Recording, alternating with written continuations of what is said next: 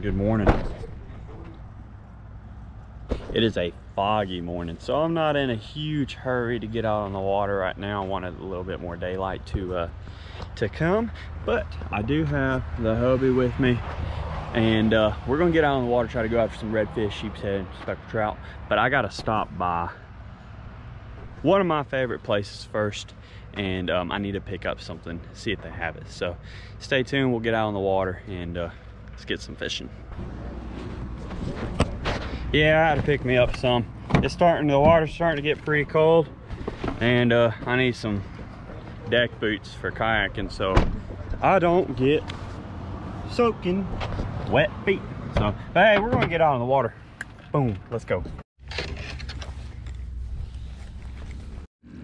I ain't playing around today.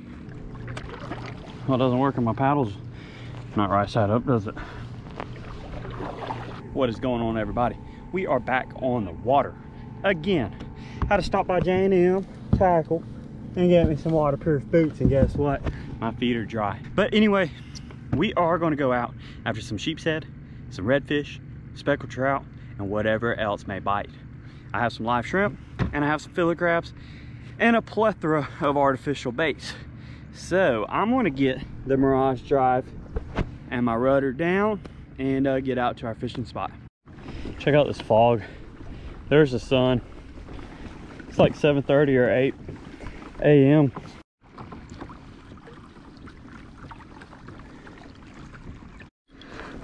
All right, I made it.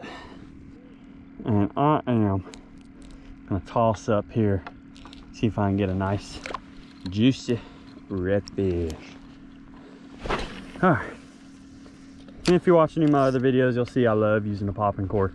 You can use it year round, doesn't have to be warm for you to have to use it. You just gotta know where the fish are.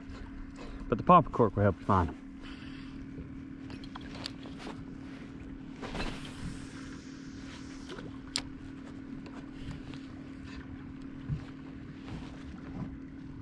Oh, there's a fish. Oh, there we go. Oh, that's a better. What is it, red? There we go. Swimming towards me. Dang, swimming towards me, quick.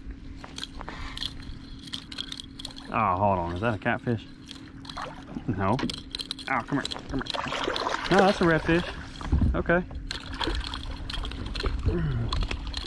There we go. He isn't a keeper, but pretty red, pretty red. Alrighty. Got a real pretty redfish. He's not a keeper, he's pretty small. So I'm gonna toss him back. Green. Yeah, ready? There you go.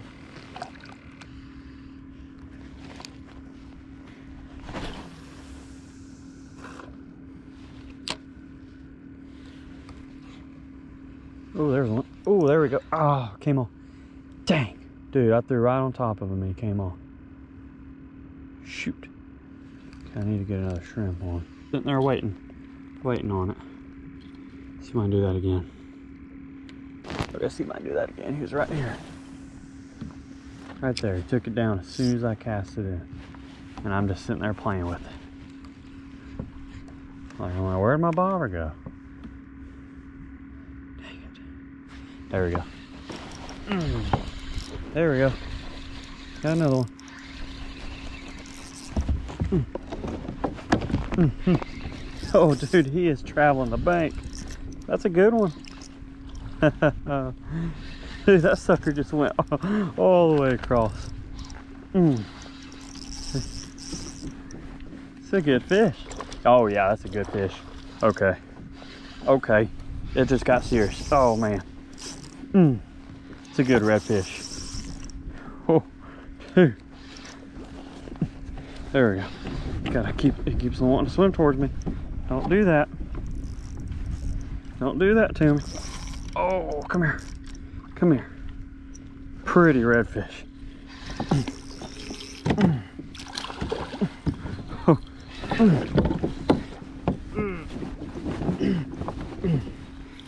Come here. Come here. Come here, come here, come here, come here, come here, come here. Hey, quit swimming towards me.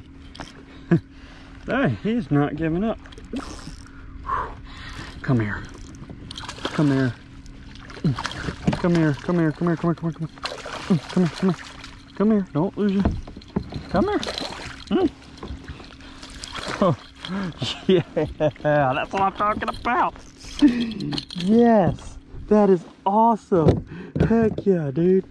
Oh, okay. Oh, regain my composure. But dang, is that not a pretty, pretty, pretty redfish? Look how big he is. I'm gonna keep him. Man, that's awesome. Oh, thank you, Lord. Okay, tip of the nose to the tail. He is a 22 inch redfish, so I am keeping him. Is that not a beautiful, beautiful fish? Just caught this really beautiful redfish on a live shrimp, and uh, he fought me pretty hard. I hope I got all that on camera. But I am keeping fish today.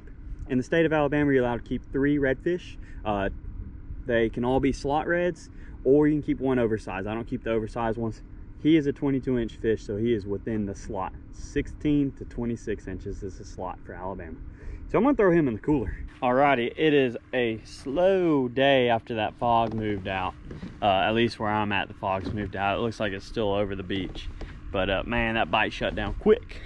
So I'm gonna head back to the ramp. I'm gonna take this fish home, clean it, cook it, and uh, for lunch because I'm pretty hungry. Done a lot of pedaling today. All right, what is going on everybody? I am back home. So I haven't done this before on video. Um, I normally don't show a whole bunch of fish cleaning stuff, but uh, today I am. And I did keep that beautiful 22 inch redfish. So we're gonna clean him and then we're gonna fry him out here. So I can't wait because I'm pretty hungry. So once you clean most of the slime off, I'm gonna get to cutting. I'm gonna come behind the gill plate, come down. All right, just be careful with your knife. Try to avoid cutting towards you as much as possible. Sometimes it's unavoidable. And then I'm gonna come off the back here, work my way up. Redfish have like a zipper, and if you can find that zipper, you can go all the way up on that fish. All right, now I am going to come along the backbone, just along the bone. Just feeling the bones with my knife. You don't want to cut to the other side. Come down. Now I don't eat the belly meat. They have a big rib cage. Sheepshead are notorious for a huge rib cage. The redfish isn't too bad, but I'll just fillet the meat right off the rib cage. So come on down. And then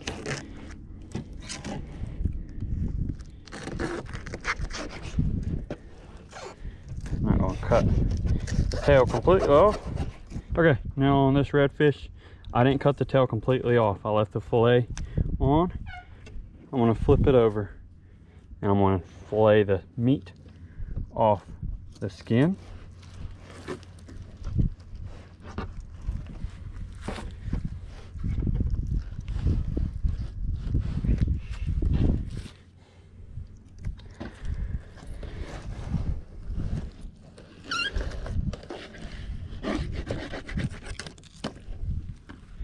There we go. There's one redfish fillet. Beautiful meat. It's flaky.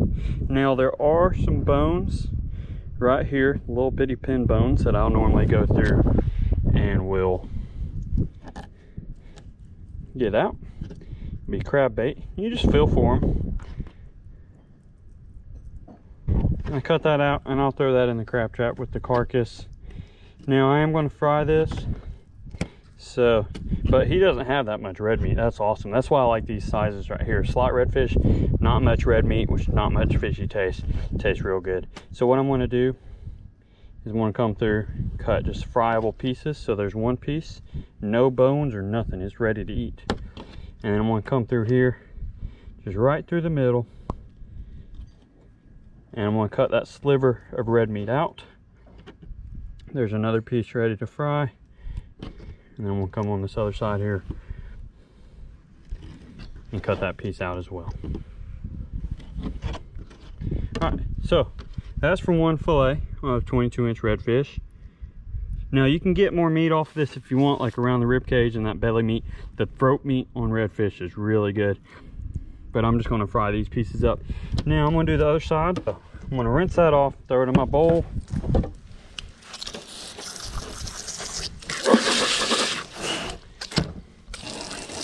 Rinse these off.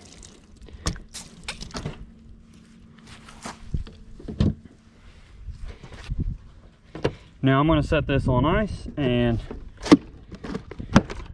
clean up, go put this bait in the crab trap and uh, get ready to cook this food. All right, I am gonna toss this redfish carcass in my crab trap. Okay, now that we got our redfish cleaned and filleted up, we are going to fry it.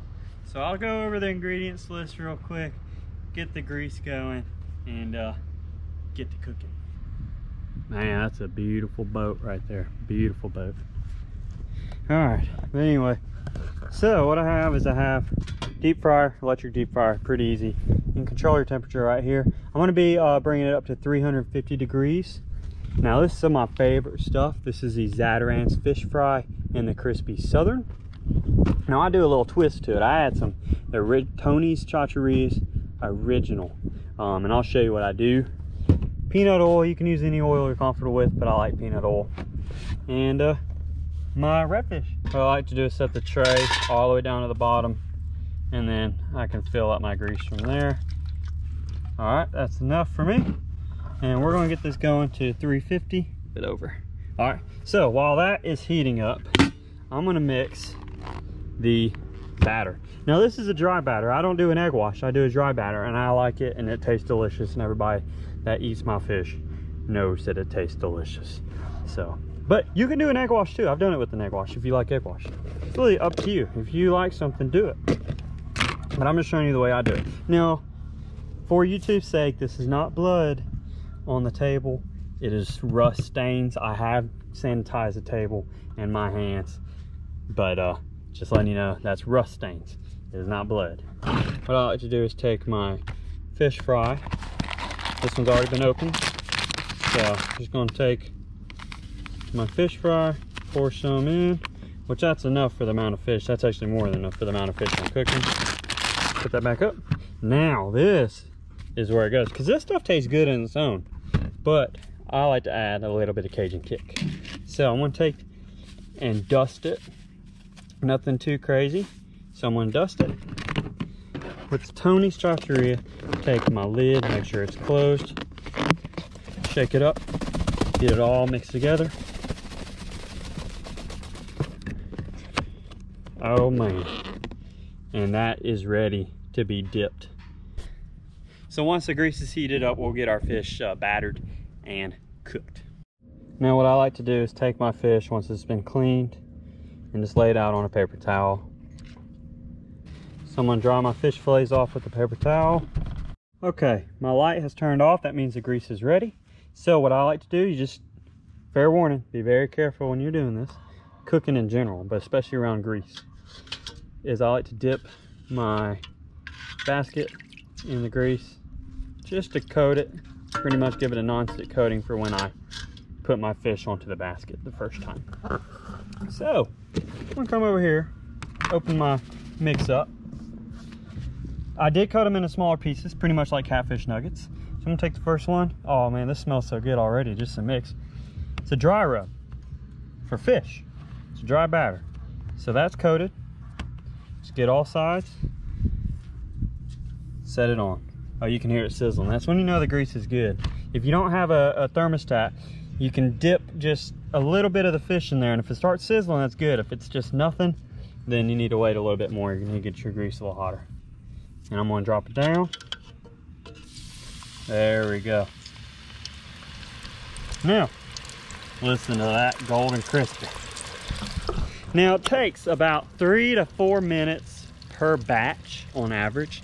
Um, you don't want to time it once your fish kind of start floating you after you do it a while, you, you kind of know when to take it out. But about three to four minutes per batch. so at 350 uh, degree temperature.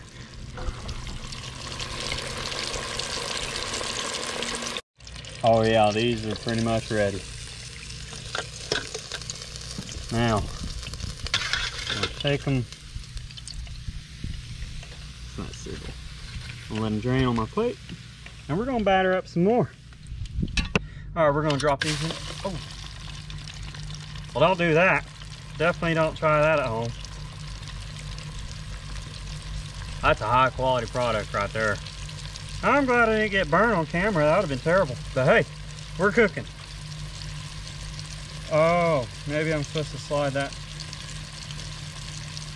I guess that's a user error. I was supposed to slide that piece, that thing down. The thing, the thing that says lock with two arrows that goes down. Yeah, the thing that I didn't do. Yeah, that's why that happened. That was a user error. But hey, I'm just glad I didn't get burnt. Check this out. White flaky meat. You really cannot go wrong with the redfish. So we're gonna try the first piece. Oh man.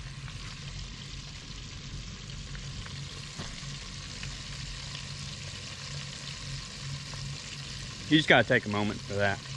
How good that tastes. And it's so simple too. Incredibly simple. Like it's just a few ingredients. You can get as complicated as you want. And that's with anything in life. But man, is that fish tasty. And it was swimming no less than two hours ago. It was swimming, sat on ice. Take care of your catch. Clean it up good. Cook it good. And it will be tasty, tasty.